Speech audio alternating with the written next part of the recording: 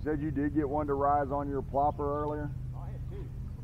One was not a very big one. But that other one, man, he came up and just put smoked it and I freaking missed it. I'd like to he hit hard and it kind of spooked me.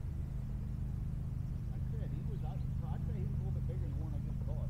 I'd like to think we'd be able to get a get a get on a little bit of a topwater bite today. But it'll mainly be where there's some current, I think.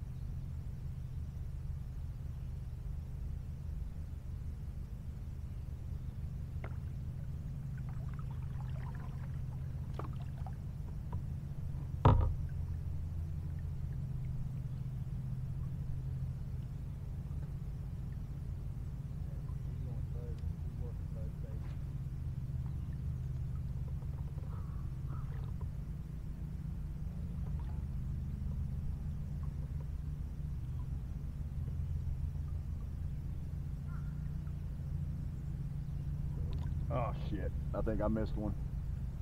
No, he's there. He's just little. That's because it's a goggle eye. Number fish number two. Come on, Mr. Goggle Eye.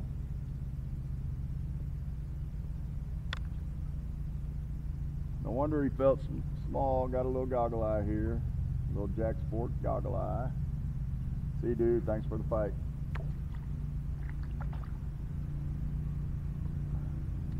Thought I had a fish. Set the hook and I'm like, oh shit, he's not there. Then I felt a little bit of a tug again. Back off of this.